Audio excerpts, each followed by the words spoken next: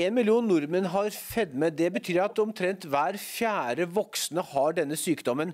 Forskning viser nå at svært få med fedme klarer å bli varig slanke uten hjelp. Gøran Hjelmeset, hvilke alternativer finnes i behandling, og hva er det som egentlig virker? Ja, Det finnes mange alternativer, men jeg syns ikke det er noe mål at uh, en million nordmenn skal bli varig slanke. Så alternativene som finnes, de er jo skreddersydd etter behovet. Så Noen trenger stor vektreduksjon, og andre trenger en mindre vektreduksjon for helsegevinst. Vi har jo hørt om eh, vært mye omtalt eh, fedmekirurgi, og da typisk gastric bypass. Hvilke pasienter vil være relevante for en, en slik behandling? Eh, fedme, eller Vektreduserende kirurgi er spesielt egnet for de som har prøvd alt annet uten å nå behandlingsmålet sitt. og Det er spesielt da de som har såkalt sykelig overvekt. Det er de som har en kroppsmasseindeks på 40 kg eller mer, eh, eller 35 kg eller mer med en vektrelatert følgesykdom. Og Det de sliter med ofte, det er eh, en gnagende sult som blir verre ved vektreduksjon. Da vil vektreduserende kirurgi bidra til å redusere den sulten betydelig, og da er det lettere å holde vekten. Eh, og Hva har effekten av denne type kirurgi vist seg? Er den, uh, får veldig mange en god effekt av, av denne? Ja, gjennomsnittlig vektreduksjon etter f.eks. gastrisk bypass, da, som er en av de vanligste, er 30% vektreduksjon i løpet av det første året. Men når gjennomsnittet er 30% så vil halvparten ha en mindre vektreduksjon, og halvparten vil ha en større vektreduksjon. Det som er utfordringen, er jo at eh, dette eh, er jo ikke noe gevinst. Eller dette er ikke noe sikkert at dette varer resten av livet. Heller ikke for de som har eh, gjennomgått en vektreduserende operasjon. Så de må også jobbe hardt for å holde vekten etterpå operasjon er jo et, et, ganske inngripende eh, tiltak. Det, det, det, er, det, er, det å regne som det siste alternativet som man går inn i? Ja, det vil jeg absolutt si. Man bør ha prøvd alt mulig annet. Alt fra eh, dietter og endring i kostholdet eh, til eh, fysisk aktivitet og kombinasjon av dette her. og det enkleste og det beste for de fleste, eh, hvis man hadde klart å vedlikeholde er jo å følge de norske kostrådene fra myndighetene. De er jo faktisk både slankende og vektstabiliserende. Så har det også kommet eh, et par ganske nylig legemidler som, som også kan brukes i behandlingen. Hva vil du si om, om, om de to? Ja, De legemidlene som er kommet nå, det er eh, en slags mellomting mellom eh, effektmessig mellom eh, vanlig konservativ livsstilsbehandling og vektreduserende kirurgi. Men den vektreduserende gjennomsnittlige effekten av de to legemidlene som er på det norske markedet nå, den er jo ikke veldig stor. Da snakker vi om 5% altså en sjettedel av det som gastrisk bypass har som effekt. Men eh, igjen så er det jo over halvparten som har en større effekt, og noen av de kan ha en betydelig effekt. Så noen kan ha en veldig god nytte av disse vektreduserende medikamentene, men det er bare så lenge de brukes, og da må de brukes eh, livslangt. Eh, når du får en pasient, eh, vil du alltid da starte med livsstilsendrende tiltak? og Er det også anbefalingen til fastleger at de først starter med livsstilsendrende tiltak? altså Eh, endring av kosthold om økt aktivitet? Eh, ja, det er ikke bare starten, men det er stoppet nå. Altså, eh, for å gå ned i vekt, så må man endre livsstil. Så du kan ikke slutte å endre livsstil. Så hvis du gjennomgår en vektreduserende operasjon og ikke endrer livsstil, da går du ikke ned i vekt. Så du er nødt til å endre livsstil. Så det er starten, og den må man vedlikeholde. Så det er, det er i bånn hele tiden. Og hvis du skal ned i vekt, så er det først og fremst viktig å spise mindre. Så det er det å spise mindre som er det første rådet man bør gi pasientene sine. Og det kan ha en veldig god effekt. Og når vekta da er stabilisert, for de fleste klarer fint å gå ned kanskje i hvert fall inntil 5% i vekt, da gjelder det å holde vekta, og da er det kanskje litt andre råd. Er det da f.eks. legemidler kan komme inn i, i, bildet som en ekstra hjelp eh, til denne eh, type pasienter? Nei, dessverre så er ikke det indikasjon eh, i dag. Eh, de legemidlene er kun eh, ment å forsterke vektreduksjon og ikke å stabilisere vekt. Så Indikasjonen for disse legemidlene er vektreduksjon, eh, tillegg, det man trenger i tillegg til vanlig konservativ behandling. Og Da kreves det også at man dokumenterer en viss vektreduksjon de første fire månedene for å kunne fortsette på medikamentet. Så, så en fastlege som har en, en pasient som, som, har en BMI over 30 eller 27 eh, og med en tilleggsdiagnose som f.eks. diabetes eller uh, høyt kolesterol, høyt blodtrykk. Når, skal, når, vil det være riktig for han, fastlegen å, å, å sette i verk tiltak med legemidler? Det må være hvis eh, livsstilsrådene alene ikke har effekt. Altså hvis pasienten prøver og prøver eh, og ikke når det målet som pasient og lege setter sammen, eh, så kan det være aktuelt å legge til medisiner. Og de har jo veldig lik effekt på vektreduserende kirurgi. Fordi de demper sulten, og så øker de metthetsfølelsen. Og da er det lettere å spise mindre. Du sier at eh, den eh, gjennomsnittlige vektreduksjonen med denne type legemidler den, den er ca. 5 eh, Det høres ikke så mye ut, men, men, men, det er som du sier et gjennomsnitt. Er det, er det, mange som har stor effekt av det også?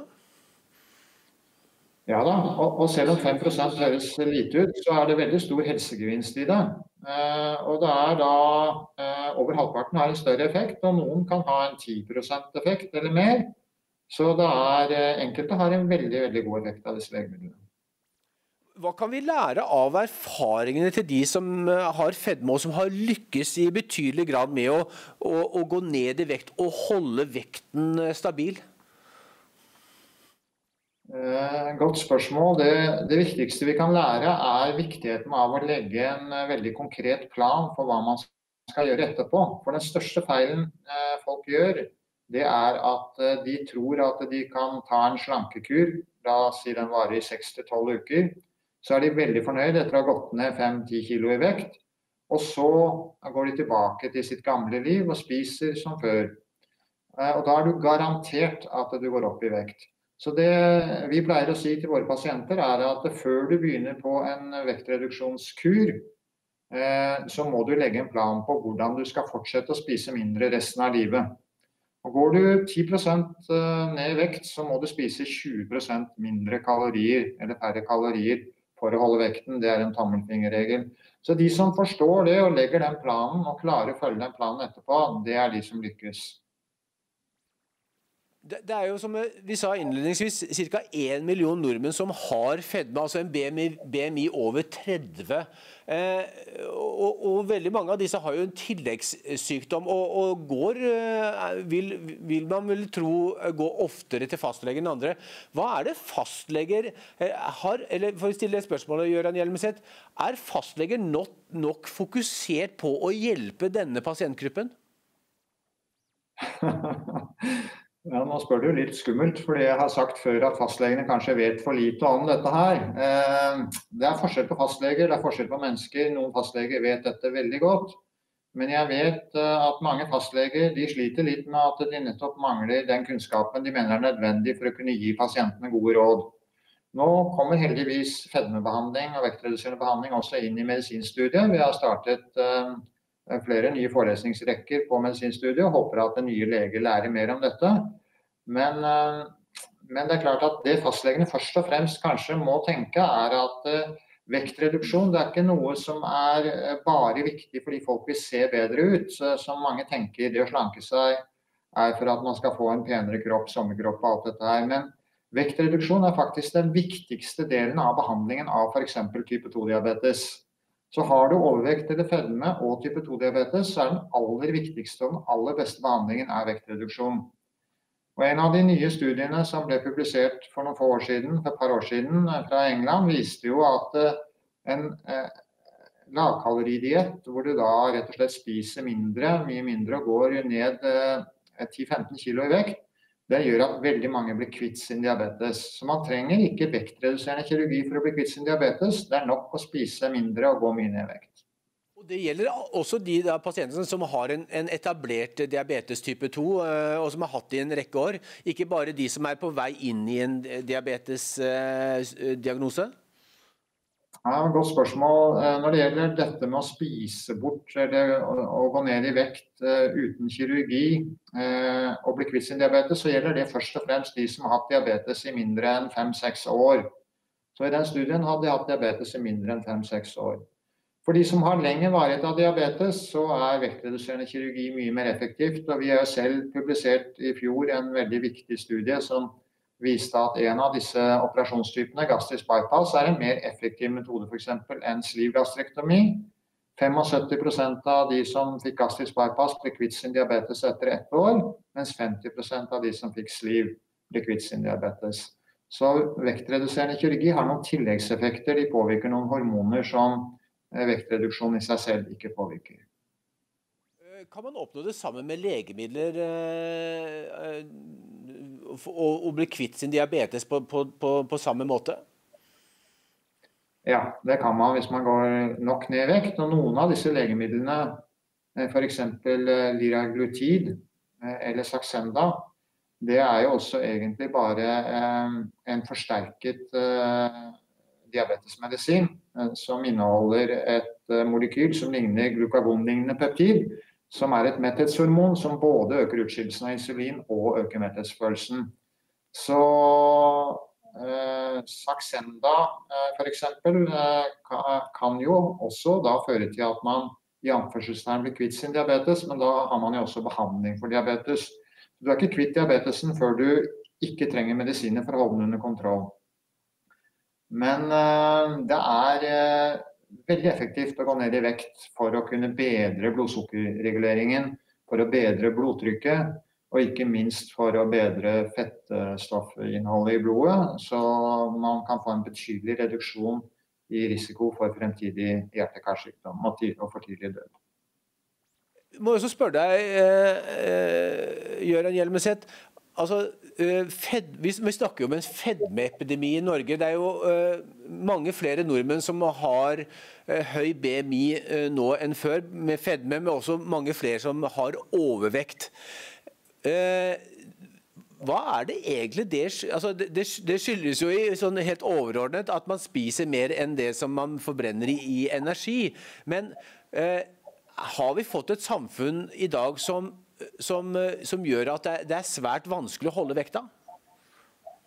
Ja, øh, hovedårsaken til fedmeepidemien det er øh, at samfunnet har pusher øh, energitette matvarer til en billig pris. Og Det var en bivirkning av, av kapitalismens utvikling fra 1960-tallet, og det ser vi spesielt i USA. at jo, jo billigere og mer eh, energitett mat eh, som kom på markedet, jo mer spiste man. Og så er det slik at eh, mye vil ha mer. Og hvis du først begynner å spise energitett mat eh, med mye fett og sukker, og blir tykkere da, og overvektig, da vil du også trenge mer for å få den samme tilfredsstillelsen. For det er jo deilig å spise god energitett mat. Det gir jo en lystfølelse, og det er ikke bare at man blir mett, men man blir også glad politikerne har jo også et ansvar for dette. Som, som du sier, vi, vi, har, si, vi, har, endret våre kosthold i, i, i, takt med at tilbudet av matvarer har endret seg. Eh, nå er det jo de siste eh, si i hvert fall 10-15 årene så er det jo eh, en ekstrem tetthet av eh, fastfood-muligheter i byen og på veiene. Og dagligvare er også i stor grad fylt av nye matvarer.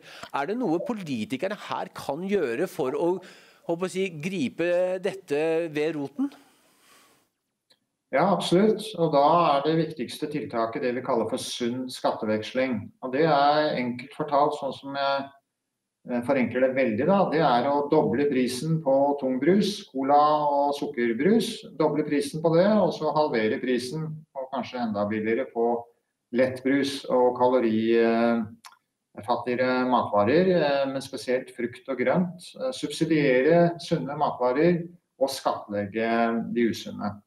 Det jo, har jo vist seg vanskelig i praksis, for det er jo veldig få politikere som som ønsker å ta den belastningen det medfører hvis man innfører sånne tiltak. Men at det er effektivt, det er det flere studier som har vist.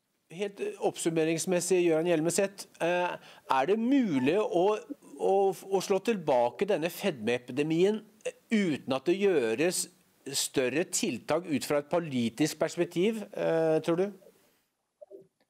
Nei. Eh, denne epidemien den vil fortsette eh, inntil man iverksetter et slags koronatiltak eh, mot fedme. Og det koronatiltaket det må være sunn skatteveksling først og fremst.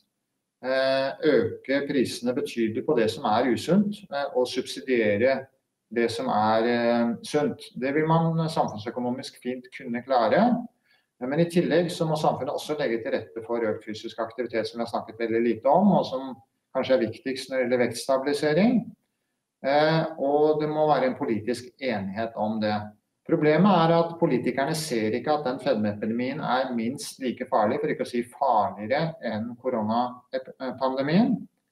Eh, vi har også en fedmepandemi som for helsa eh, på lang sikt eh, er like farlig som, minst like farlig som koronaviruset. Hvis du kunne gi politikerne tre råd, hva ville det være, Gøran Hjelmeset? Ja, Det vil være de tre rådene. Nå gjentar jeg meg selv, men eh, det viktigste rådet er å iverksette det vi kaller for strukturelle tiltak. Eh, og De strukturelle tiltakene de må først og fremst eh, basere seg på sunn skatteveksling. Det er punkt én. Punkt to det må være å beskytte barn og unge mot påvirkning, altså markedsføring av usunn mat og, unge til, usunn mat og drikke til barn og unge. Og Punkt tre det er å legge til rette for eh, økt eh, fysisk aktivitet. At det blir enklere å være fysisk aktiv eh, enn inaktiv. Jørgen Hjelmeset, tusen hjertelig takk for at du ville dele dine synspunkter med oss. Eh, hjertelig takk. Bare hyggelig. Får bare si fra hvis det skulle være noe mer.